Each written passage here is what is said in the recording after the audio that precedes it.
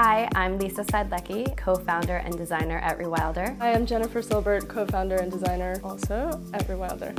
We take 100% salvaged material, so material that was used in a first life, and we transform them into high design goods. We met the director of the Hollywood Bowl store at a local maker show, and she saw our bags and said, you know, these are beautiful bags, what are these made from? And she kind of didn't believe it at first that they were repurposed. And she said, you know what, I have these banners that we use all over the city, and I'd love to sit down and have a conversation about making something for our store.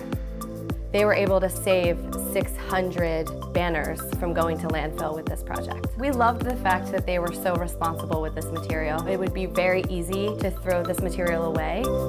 We're cutting them into smaller pieces, so each individual tote is its own thing. They're all unique. The graphics, the colors, it's very iconic Hollywood bowl, so mm -hmm. it mm-hmm. feels like you're carrying a piece of the bowl when you take one of the bags with you. You can fit one bottle of wine and a picnic blanket, and a picnic blanket rolled up. They actually are that big.